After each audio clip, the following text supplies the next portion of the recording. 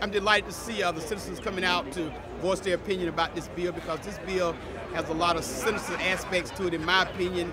Uh, I don't really think voter fraud is that big of an issue in North Carolina. You've got maybe you know a small percentage of people who would Welcome do anything illegal uh, as it relates to voting. So I just think we need to be. I, you hear the noise behind me. I'm just glad they're here today to uh, you know to have a, a say, to have their say.